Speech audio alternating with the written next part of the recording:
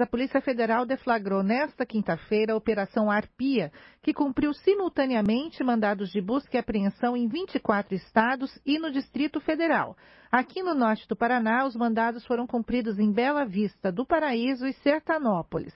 A ação está a cargo da Coordenação de Repressão a Crimes Cibernéticos relacionados ao abuso sexual infanto-juvenil. A Operação Nacional tem a intenção de prender ofensores sexuais de crianças e resgatar as vítimas, gerando maior impacto social e consequente atenção para a ocorrência desse tipo de delito. A operação é fruto de investigação iniciada na Diretoria de Combate a Crimes Cibernéticos da Polícia Federal, onde foi realizada análise de notícias de crimes relacionadas ao abuso sexual infanto-juvenil online foram produzidos os relatórios de análise para que as unidades regionais da Polícia Federal dessem prosseguimento às investigações, com hoje o cumprimento das medidas cautelares no âmbito de uma operação em todo o Brasil.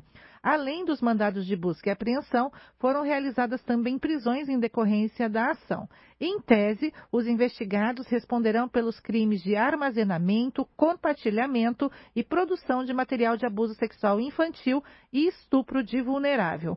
A operação recebeu o nome de Arpia, que é uma espécie de ave de rapina que tem os olhos sempre atentos e é exímia caçadora, relacionando-se com o objetivo da operação.